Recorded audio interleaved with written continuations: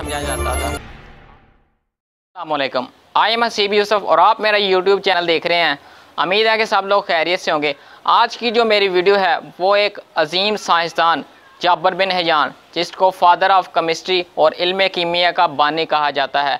इनकी ज़िंदगी के बारे में और इन्होंने जो साइंस के अंदर ईजादात की हैं, जिसकी वजह से आज साइंस यहाँ तक पहुँची है, उनके बारे में बताएँगे। जाबर बिन हयान 721 ईस्वी में ईरान का एक शहर तोस में पैदा हुआ। बचपन ही से इनके वालद मोहतरम इंतकाल कर गए, जिसकी वजह से इनको तालीम के लिए दूसरे शहर जाना पड़ा।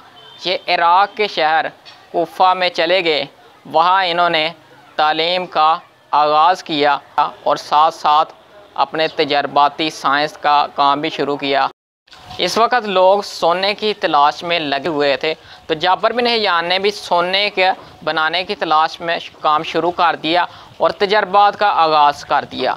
लेकिन जाबर बिन हयान कामयाब तो ना हो सके, लेकिन इन्होंने साइंस की जो एक्सपेरिमेंट है, जो तजर्बात है, वो उसका आगाज़ कर दिया।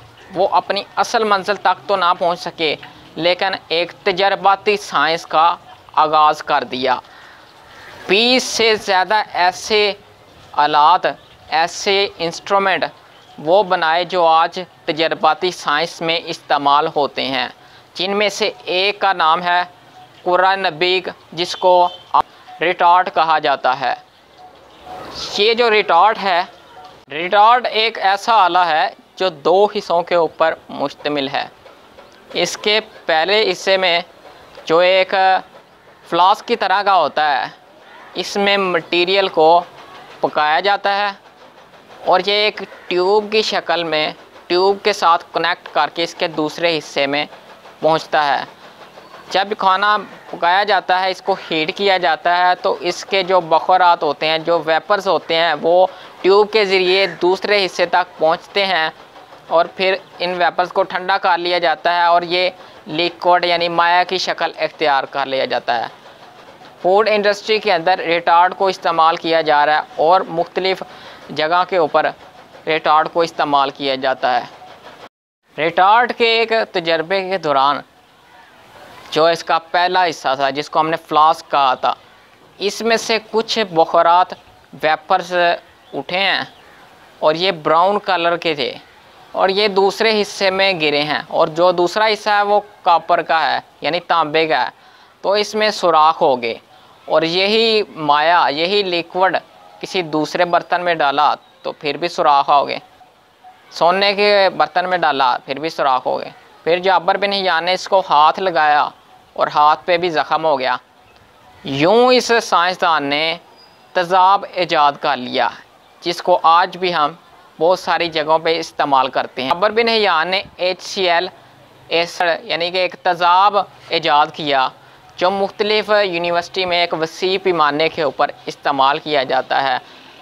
यानी जो आपने कपड़े पहने हैं, ये कपड़े को मुख्तलिफ़ कलर देने के लिए, मुख्तलिफ़ कलर्स में तब्दील करने के लिए एच सी एल इस्तेमाल किया जाता है।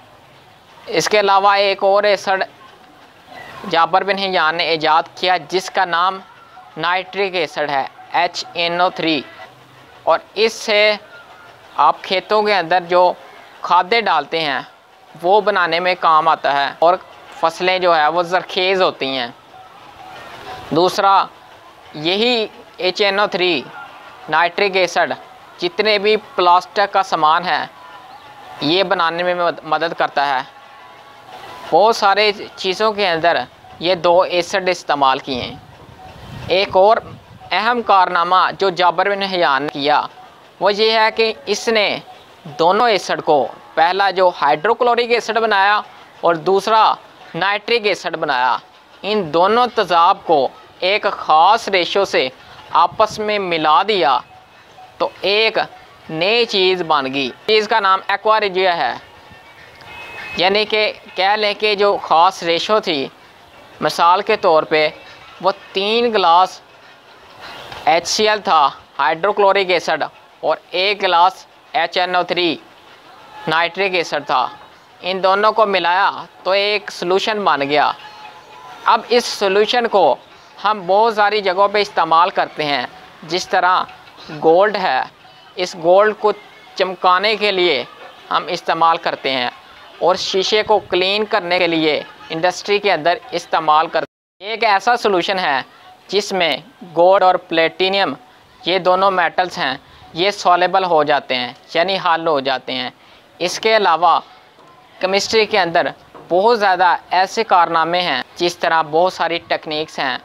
Filtration sublimation crystallisation liquefaction evaporation ये तकनीक्स और इनके अलावा रोज़मर्रा ज़िंदगी के अंदर बहुत सारे ऐसे काम हैं, जो जाबर बिन हिजान ने किए, जिस तरह हम परफ्यूम्स इस्तेमाल करते हैं।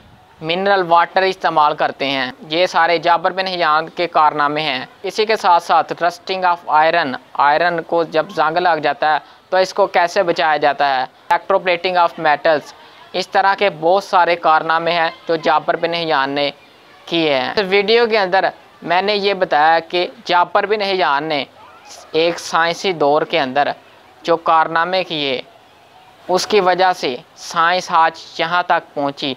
एक तजर्बाती साइंस का जो आगाज़ किया, उसकी बिना पे ये काम शुरू हुए। जाबर बिन हिजान का मानना ये था कि इलम के साथ साथ तजर्बा भी ज़रूरी है। इसलिए इन्होंने अपनी जो साइंस है, वो तजर्बे के ज़रिए आगाज़ किया इसका। दौर है सौ ईस्वी से लेके तेरह सौ ईस्वी का दुरानिया है।